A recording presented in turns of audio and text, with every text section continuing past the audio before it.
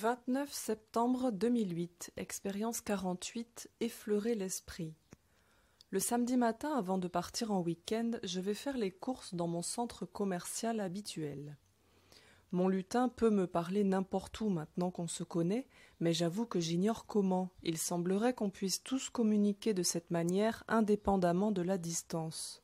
Moi je sens son énergie, alors je sais que c'est lui. Lutin. Bien, on va aller observer tes concitoyens dans leur milieu naturel, un centre commercial. Je rentre dans le centre commercial, un hangar éclairé artificiellement, complètement isolé de tout ce qui pourrait être naturel. Des études ont prouvé qu'en faisant ça, les gens perdent la notion du temps et achètent encore plus n'importe quoi, donc c'est voulu pour les enseignes de procéder ainsi. Plus on isole les gens de la nature, plus on les enferme dans un système artificiel qui n'est pas eux plus ils deviennent des robots sans âme. Mais où qu'il soit, l'homme n'est jamais coupé de la nature. C'est impossible, et l'homme n'est pas moins un animal que les autres. Il est juste fou de son ego, c'est tout. Allez hop, au boulot. Tu dois être ici et maintenant. Je maintiens l'état d'ici et maintenant et je laisse mon mental de côté. Je maintiens une communication directe avec le lutin, mais je ne peux pas réfléchir. Du coup, faire ses courses sans réfléchir, c'est un peu problématique. Nous allons faire une mise au point. Tu laisses ton enfant intérieur sortir pour profiter de l'instant présent. Mais ce n'est pas lui qui doit mener la danse, sinon tu risques de faire un peu n'importe quoi. Comme pour ton corps énergétique la dernière fois. Ce n'est pas non plus l'ego qui décide. Lui doit se maintenir en retrait le plus possible et ne doit servir qu'au minimum nécessaire. C'est l'esprit qui commande. Tu dois laisser l'esprit non seulement te guider dans tes connaissances, mais également dans tes gestes. L'esprit sait tout sur tout, et si tu le laisses faire, il peut t'amener non seulement la connaissance totale dont tu as besoin, mais également le geste juste au moment juste. À ce moment, le monde est devenu encore bizarre. C'est comme une expansion de conscience. Je vois normalement, mais pas normalement en même temps. En fait, les gens sont bien là, je les vois, bien que ma perception soit étendue anormalement mais ils m'apparaissent comme des portes, des sortes de portes interdimensionnelles qui mèneraient à d'autres univers, et qui plus est, ces mondes ont un léger pouvoir d'attraction sur moi. C'est comme si les gens étaient des portails magiques qui auraient mis des dessins de personnes en carton devant pour se cacher derrière. Comme dans les magasins, les postiches de vendeurs avec la pub dessus. Mais le contenu du monde derrière reste hermétique pour moi cette fois. Je ne vois pas cela avec les yeux, je le perçois avec autre chose de plus élevé qui n'est pas de la simple clairvoyance. Encore une fois, je fais des efforts démesurés pour décrire des choses indescriptibles, mais c'est très loin de la réalité. Lutin. Bien, c'est pas mal. Tu vois un autre aspect des choses, bien plus juste que ce que tu vois habituellement, mais pas encore réel. À ce moment, je sens une extase et une expansion de conscience plus grande me prendre.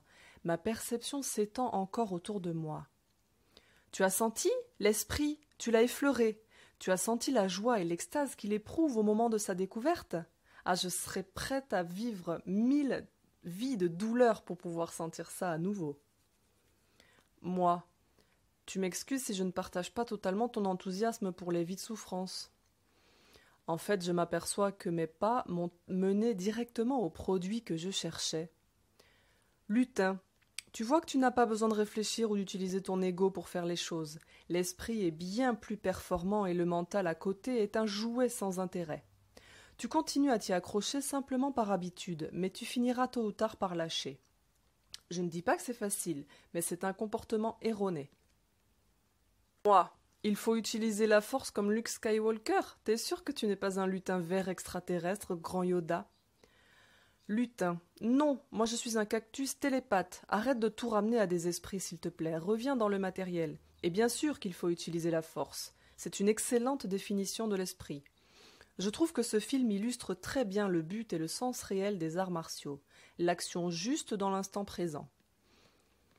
Comprends que tu dois faire venir l'esprit en toi. Il doit descendre dans la matière, ce qui signifie qu'il doit remplacer ton mental en tout à terme. Si tu pouvais simplement lâcher ton ego maintenant, tout serait terminé en un instant.